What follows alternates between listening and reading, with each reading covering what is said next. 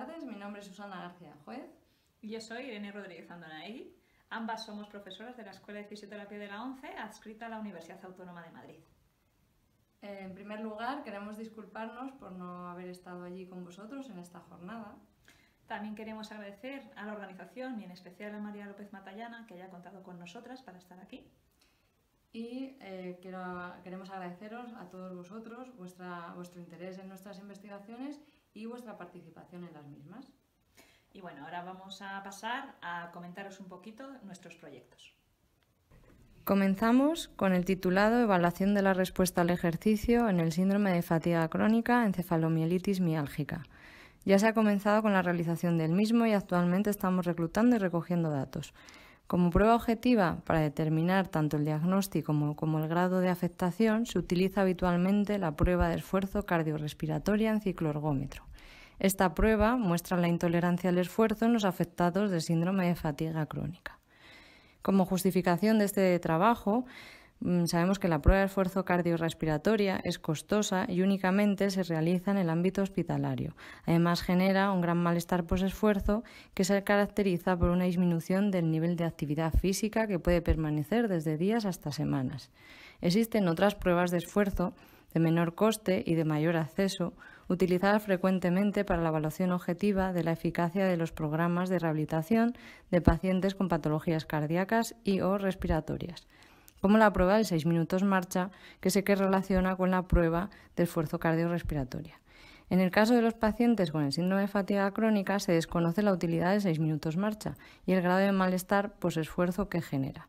Caminar es una actividad muy eficiente, por tratarse de una actividad habitual en la que participa más musculatura y tiene la ventaja de la que la persona que realiza la prueba marca la velocidad de, la caminata. Por ello nos planteamos la siguiente pregunta de investigación. ¿El 6 minutos marcha es capaz de detectar la intolerancia al esfuerzo en el síndrome de fatiga crónica? Si es así, ¿se correlaciona con la prueba de esfuerzo cardiorrespiratorio en el síndrome de fatiga crónica? Y generará menor malestar esfuerzo sin producir disminución del nivel de actividad. Para ello marcamos el objetivo general que consiste en plantear, eh, bueno, en determinar la correlación entre los resultados de la prueba 6 minutos marcha con espirometría y los de la prueba de esfuerzo cardiorrespiratorio incremental pico con espirometría y cicloergometría en personas diagnosticadas de síndrome de fatiga crónica y comparar las diferencias en el nivel de actividad física tras cada una de las pruebas. Eh, este estudio ha sido aprobado por el Comité de Ética e Investigación del Hospital Universitario de La Paz de Madrid y también ha sido registrado en el Clinical Trials de la revista eh, para la publicación de, estas investigaciones en revistas biomédicas. Eh, las pruebas, la realización de las pruebas va a consistir en lo siguiente. Por un lado, se va a realizar la prueba 6 minutos marcha según el protocolo de la Sociedad Torácica Americana, añadiéndole medición de gases con espirometría. Y tras dos semanas de reposo, para que el paciente se recupere, se va a realizar la prueba de esfuerzo respiratoria que no espirometría y cicloergómetro según el protocolo de SNEL y colaboradores. Eh, ¿Qué datos vamos a recoger? Por un lado, vamos a recoger datos antes, justo antes, durante y tras la realización de la prueba de 6 minutos marcha. Y esto mismo lo haremos cuando realicemos la prueba de esfuerzo cardiorrespiratoria. Además, mediremos el nivel de actividad física antes de las pruebas y tras cada una de ellas durante 7 días, 24 horas al día. Aquí tenemos algún ejemplo de los datos que estamos recogiendo con espirómetros y el medidor del nivel de actividad. Y bueno, con todo esto, ¿qué es lo que pretendemos? Por un lado, pretendemos implementar el 6 minutos marcha en la práctica clínica habitual para evaluar el estado funcional de los resultados de los programas de rehabilitación en el síndrome de fatiga crónica. Esta prueba se puede realizar en cualquier lugar, es más barata y pretende y eh, seguramente, que es lo que estamos intentando demostrar, disminuye el malestar esfuerzo que generaba la prueba que se utilizaba anteriormente, que es la prueba cardiorrespiratoria de esfuerzo. Con esto ya os paso con mi compañera Irene Rodríguez, que os va a explicar eh, la investigación que está llevando ella a cabo. Muchas gracias, Susana, por tu presentación. Y eh, paso yo ahora a comentaros eh, mi proyecto de investigación, que lleva por título Síndrome de fatiga crónica, encefalomielitis miálgica, estudio del impacto global de la enfermedad desde una perspectiva de género. Como todos en este foro ya sabemos de la gravedad de esta enfermedad y de sus efectos, no me voy a entretener en mencionar estos aspectos. Eh, sin embargo, si quisiera hablar eh, de que aún hoy en día los afectados de esta enfermedad recibís un alto grado de incomprensión y falta de apoyo por parte de muchos profesionales sanitarios. Eh, que es una situación bastante lamentable, la verdad, pero bueno, es, es, real. Y tal vez sea porque aún es una enfermedad eh, con un cierto grado de desconocimiento. Todavía hay gente que, que bueno, que, que, pone, parece que pone en duda ¿no? su existencia. Pero bueno, por otra parte, eh, todos los afectados también habéis sufrido largos procesos para eh, solicitar eh, incapacidades o laborales o bajas con bueno múltiples problemas y conflictos en las valoraciones de vuestro nivel de gravedad y de por parte de, de todos los tribunales, los peritos sanitarios, etcétera.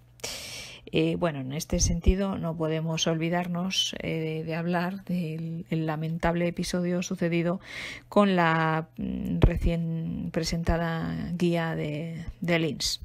Pero bueno, en fin, esto demuestra que todavía hay mucho por, por hacer. Pero bueno.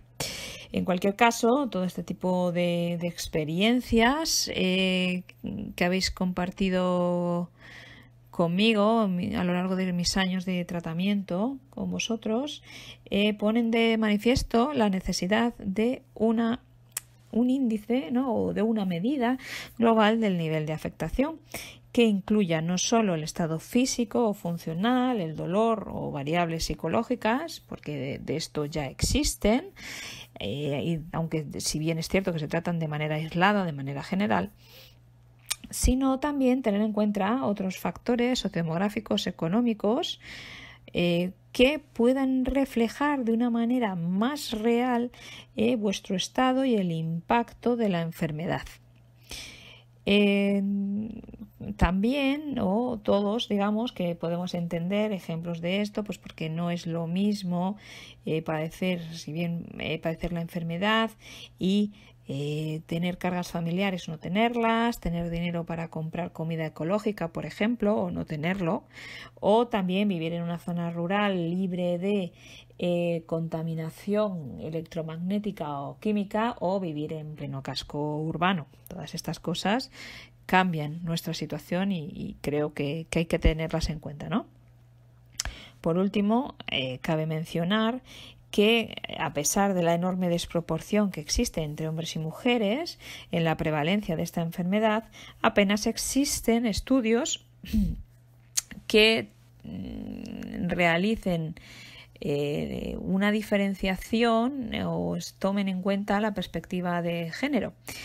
Eh, y parece lógico pensar que puede haber algún tipo de diferencia fisiológica que entre, hombres y mujeres que lleve a, esta mayor prevalencia en el caso de, de, nosotras, de, las mujeres, ¿no? Por último, eh, tampoco queríamos dejar pasar la pregunta del millón, ¿no? Que, ¿Cuál es la causa de esta enfermedad? ¿Cuál es su etiología? Eh, aunque últimamente eh, es cierto que hay más equipos de investigación que se dedican a estudiar esta enfermedad y tratan de dar respuesta a esta pregunta, que bueno, buen ejemplo de ello es eh, las estupendas investigaciones que están presentando mis compañeros esta tarde aquí, eh, pero aún así sigue siendo insuficiente. Y es cierto que cada vez hay más pruebas de afectaciones del sistema inmune, de afectaciones a nivel molecular pero mm, realmente la etiología esto no está clara. Entonces, eh, ¿qué podemos pensar? Que haya factores genéticos, factores epigenéticos. Pues probablemente ambos.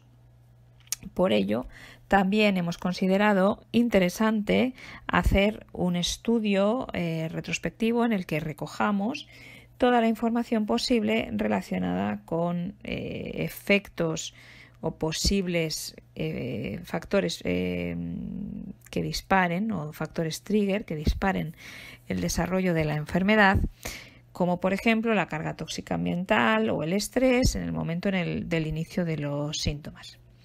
Entonces, ¿cuáles serían nuestros objetivos en esta investigación? ¿Qué queremos conseguir? Pues en primer lugar eh, debemos crear un índice global de afectación del síndrome de fatiga crónica.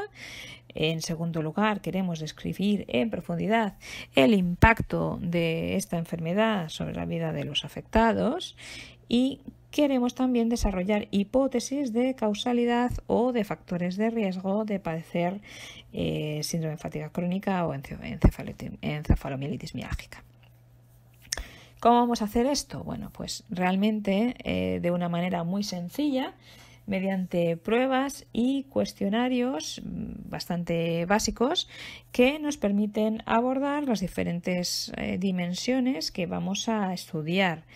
Eh, tenemos varias, el estado físico y funcional, el estado psicológico y emocional, variables sociodemográficas, variables económicas y variables de la carga tóxica y del nivel de toxicidad ambiental.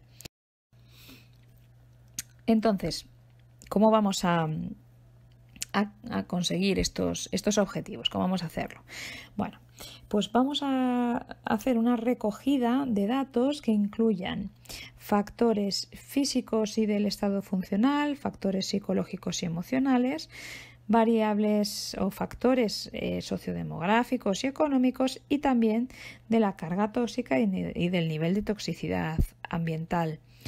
Eh, esto lo haremos mediante pruebas muy sencillas como el test de 6 minutos marcha o plicometrías y em, con cuestionarios especialmente desarrollados para esta investigación, otros de uso común y eh, también por eh, bueno, entrevistas en, profundidad y em, con eh, estudio de la dieta y de la toxicidad en, orina. Bueno, todo esto lo vamos a realizar en una visita a la Escuela de Fisioterapia de la ONCE, que es, los pacientes solo tendréis que hacer una visita a nuestra escuela, y eh, los investigadores nos desplazaremos a vuestro domicilio donde nos indiquéis en una o dos ocasiones si es necesario. También podéis venir a la escuela si, si lo preferís. Todos estos datos que recojamos serán sometidos a un análisis estadístico avanzado que buscará relaciones no solo entre las variables, sino entre grupos de variables, que es lo que se conoce como supervariables. Con todo ello, esperamos conseguir un mejor conocimiento de la enfermedad, especialmente desde la perspectiva de género, y también esperamos que el índice global de afectación em, represente eh, de una manera más adecuada a los afectados, lo que podría tener un importante efecto en, a nivel social, judicial y de investigación. Simplemente ya para terminar, mencionar que el estudio ha pasado al Comité de Ética de, Investigación de la Universidad Autónoma de Madrid y que actualmente se encuentra en fase de reclutamiento y de recogida de datos, así que os podéis apuntar si queréis. Todos los datos de los participantes en el estudio serán tratados de manera confidencial, por supuesto, y seguiremos en todo momento la, el reglamento, nuevo reglamento europeo de protección de datos de carácter personal. Queremos, eh, para finalizar, agradecer a, todo, bueno, a nuestros equipos de investigación, que gracias a ellos estos proyectos están siendo posibles, y en especial agradecer a la Escuela Universitaria de Fisioterapia de la ONCE su apoyo eh, tanto económico como bueno, la inversión de nuestro tiempo en estos proyectos. Pero sobre todo os queremos agradecer a vosotros, los afectados, porque sois nuestro motor, nuestra motivación y todo esto lo hacemos por ayudaros y porque en conciencia consideramos que necesitáis eh, apoyo de parte de los investigadores. Como no hemos podido estar ahí y sabemos que hay un turno de preguntas, si tenéis alguna cuestión que queréis hacernos llegar, eh, pedirles nuestros datos de contacto a María López Matallana, que ella os los pasa y nosotros intentaremos resolverlas lo antes posible. Muchas gracias a todos por vuestra atención. Gracias.